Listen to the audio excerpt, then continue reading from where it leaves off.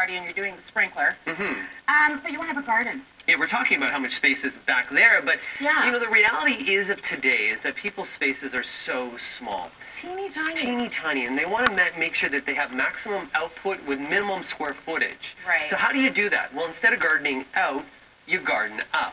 And this is sort of the latest, greatest. This is what ev- a lot of people are doing, whether they have small space or not. It's it's the anything. Isn't Yeah, vertical gardening is so huge, and there Yeah. are in- innovative products out there as well. I'm going to drag this guy in here too.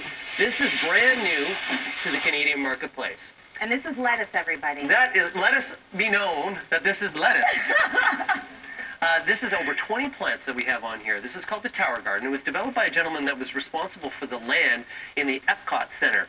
So it's innovative technology known as aeroponics. In the basin of this container is the area where the water goes with a pump.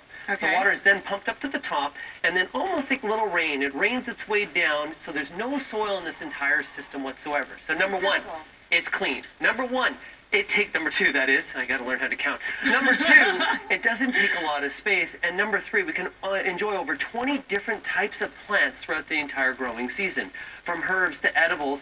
So basically, we can have really a clean environment to create really clean greens. And this, when this all grows in, this looks like this beautiful green thing, right? Yeah, it's totally lush. So you would see here, I'm just going to flip it around. You would see the oregano that's here. The oregano would trail over. Your greens are starting to trail. Once this fills in, you really don't see much of the white that's there. White's a really nice reflectant light. The reason why they're using white as well, it keeps the root systems cool, and that's really the idea that, that they're having here. So really, it's totally maintenance-free, easy. It takes about 20 minutes to assemble. It's about a $500 cost. It's the first time that it's ever been shown on Canadian ah, television. Very cool. And Yeah. the coolest thing is, you don't have to make hors d'oeuvres at your party. So your guests just come here and they take some lettuce. Yeah. And Lynn Crawford already teased me. What She's a like, party! It's you know, great. Yeah, Lynn's already been stealing the oregano parties. over here too.